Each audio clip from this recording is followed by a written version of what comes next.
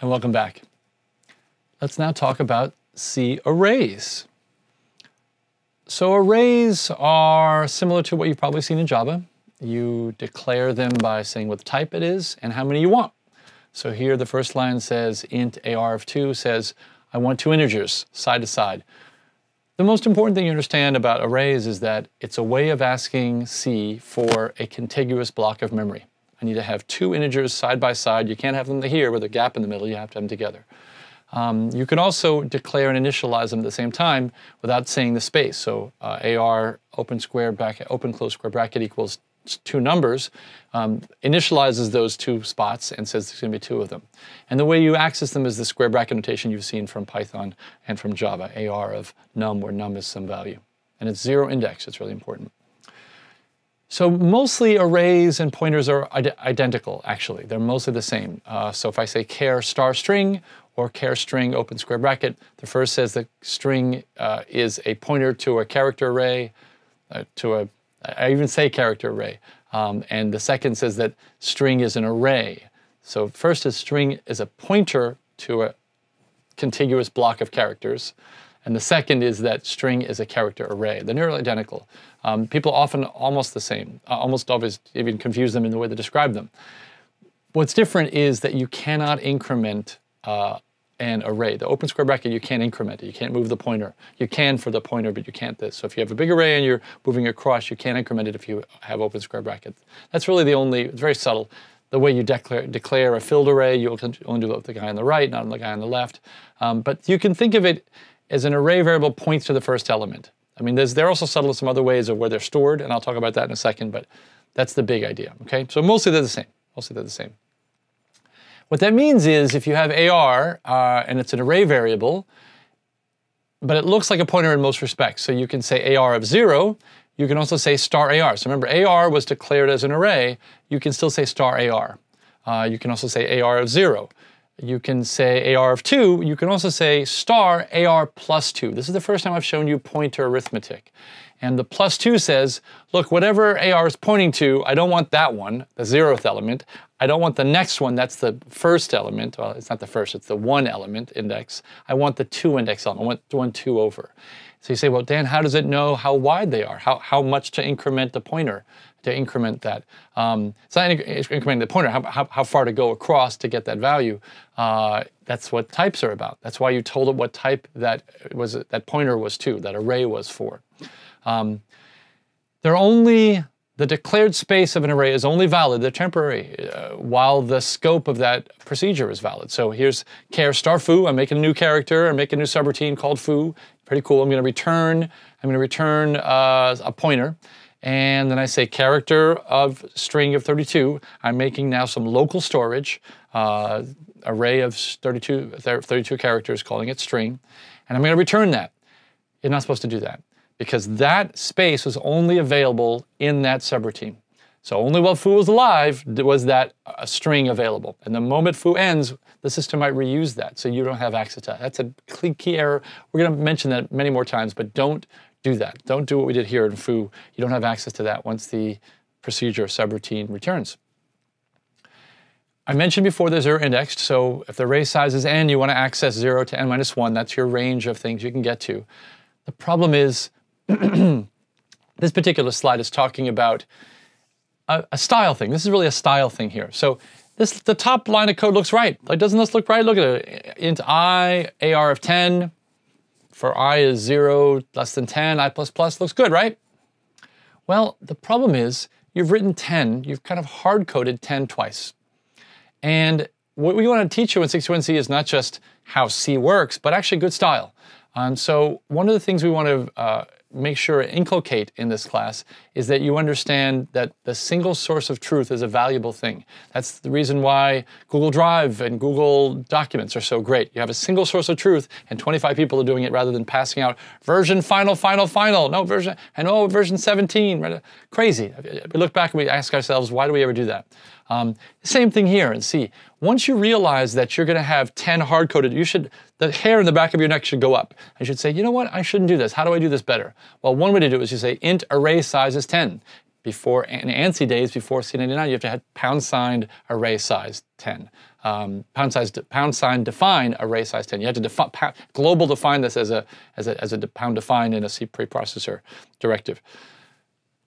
Here, int array size equals 10. So int i, a of array size. This is a dynamic array. Again, this came from C99. And now I can say for i equals 0, i is less than array size. Now I only have 110.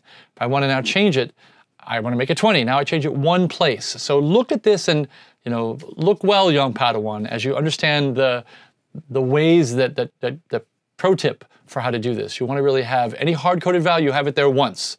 Abstraction. Okay, so use indirection. Indirection can save you a lot of trouble, and don't have to maintain two copies of 10 here's the other thing. Arrays don't know when their bounds are being exceeded. This is C. If there's ever a question of whether C checks or something, the answer is always no. C doesn't do any of those checks. C says, I'm just going to let you run as fast as you want, because basically I'm going to compile it down to raw machine code. I'm not going to do those checks for you, those sanity checks, or make sure you're between 0 and n minus 1. No, doesn't know that. The other downside is an array doesn't carry with it its, its size. So that's a little bit of a bummer. So if you ever pass an array around, you have to pass the array and you got to pass the size of the array, um, or at least the number that you're going to be searching up to. You can pass it, you know, array of size 100 if you only pass 10, and then only think it's actually only 10 long and it won't go past that. But you, you need to kind of pass these two numbers along. Um, there's only one small um, asterisk to it, exception, which is strings, because we've all agreed that zero character is a special way to terminate a string. So if I'm passing a string to you, you can keep reading until you get to zero. You don't have to pass the string and the number. Now you can also write the number and then you, you know, you'll stop short of that. But strings you don't have to pass because we've all agreed that zero is a, is a, terminate, a null terminator at the end of a string. But every other array, every other array, you have to pass in the array and the size, or at least the size up to you want to be checking, okay? You're gonna see some errors. As you're coding in C, you wouldn't be learning if you weren't finding errors. You know, you know, if you were, you're not learning how to ride a bicycle if you don't scrape your knee once or twice. You got to kind of try. Well, what if I wiggle the wheels? What if I turn really steep? Well, you hurt yourself and you're falling. What if I pedal when I'm making it? I did this pedaling while I'm making a turn. Well, all of a sudden the pedal hits the floor. And yeah, so you got to try all these things to know what the bounds and range is, so that when you get to a dangerous situation, you won't know to do that. You won't do that. So segmentation faults and bus errors are two kinds of errors that you'll see. The idea of, I'll just give you a little quickie, um, a segmentation fault says you're reading and writing to memory you don't have access to. You're reading outside the segment. The segment kind of is a way that your, your access space. A bus error often means your alignment is wrong. So, you know, you want to talk about word alignment a couple of videos ago. I'm going to read an integer. If your integer pointer doesn't have, if you say, what's the address of that, of that, of, of that integer, if that integer isn't the address, if you look at it in hex, isn't 0, 4, 8, or C, you're not word aligned. Uh, that's in a 32-bit machine. So then if you read an integer, I'm reading an integer, but it's but the actual pointer is 5. Well, the actual, you know, the actual address of that integer is 5. Well, that's not that's not 4, 8, you know, 12, or etc. Not a multiple of 4. So that would be a bus error. Okay, if it's if it's in the space over there, you could have it could be ambiguous where I read it off alignment, but I'm also off the area I'm supposed to be reading. You can have one of the two. One of the two. So those are two uh, ways. If you see those arrows, that's what they mean. Segmentation fault means I'm outside of memory. I have control. The bus error means probably not aligned. I mentioned before point arithmetic, which is um, if you have a pointer to something and you say plus a number. I mentioned star AR plus two goes to the second uh, element in that array, however big they are. It just moves over, just strides however big they are. That's what size of was for. Size of was for. So pointer plus n says, well, if it's a pointer to something, um, it adds, here's the thing, size of character is one, so it's n times the size of character. So it says, I'm gonna move that many bytes across to the next guy. So if it's an integer four, if I say pointer plus one, a pointer's a thousand, say, pointer's a nice multiple of four, pointer a thousand, pointer plus one, uh, this means now the pointer is going to be, if I ask address, it's 1004. Pointer plus one again, it'll be 1008. So it's moving by the size of that element. So that's why we have to use that. That's why those types are useful to know how big to move when you say pointer plus or minus. Pointer minus means go backwards, go back in the array. So pointer plus or pointer minus does that. It's kind of a useful thing. So you saw this as review. We saw this a couple uh, lecture, maybe last lecture. Um, the way you, if I have a subroutine, add one, and I have y declared outside that scope, and I pass in y, y is still y is 3 initially. Add 1 is not going to affect y. It's still going to be 3 after the call to add 1.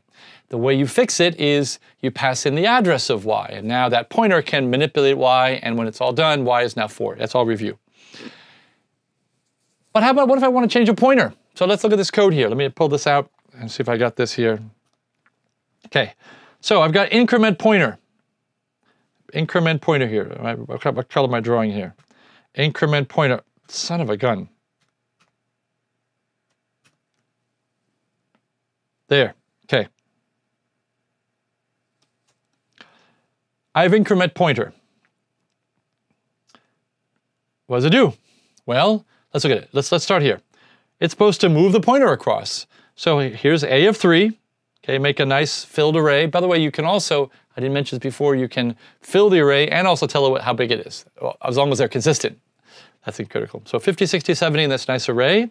I have a pointer Q. We can think of Q and A both point to the beginning of that array. So here's my picture over here indicating that. Then I called increment Q, increment pointer of Q. I really want Q to move over, so I want Q to be here and point to there. That's what I, what I want is for this there to be my Q. Okay, so let's now call this. Well, what would it do? In star P, I pass in the pointer to P. Now P and Q are the same thing, and I say P equals P plus one. And I'd hope that P, that Q increments. Okay? Well, what do you think happens? Let me try this, erase this. Yeah. What happens? 50, doesn't move at all. Why? Same reason as the slide before. You can't change Q without passing its, that's all on three. One, two, three, address. So you pass in Q's address. Well now, what is the type for the increment pointer that's receiving that? It's not a pointer to an int, it's a pointer to a pointer to an int, actually. H, and by the way, we call H as we call this a handle. So it's a pointer to a pointer. H is a handle. So now what gets printed? Let's try it. So now Q, I pass in the address of Q. Now I can change Q, star star H. The way you get to that, the way you dereference that handle is you say star H. This is going to move where Q is, one over. So let's try this. I run this, Q moves one over, and I printf star Q. So this is the same. This didn't change down here. The printf didn't change down there. It's just that key thing was different, and that key different was different. I also changed this as well. Okay? So now, same idea, and you're gonna say, well, Dan, look, if I want, what if I have a pointer to a pointer to a pointer? The answer is yes. I'm gonna short circuit you and say, you can have a pointer to a pointer to a pointer. Three stars, pointer to a pointer to a pointer to a pointer, four stars. You typically don't have more than two stars in the code, and if you have three, either you know what you're doing and it's really complicated code, or you probably don't need to have it. So think about trying to remove that if you can, but it gets more complicated once you have three layers now, but people have handles all the time, uh, which is a reasonable thing to do. We'll see you in the next video.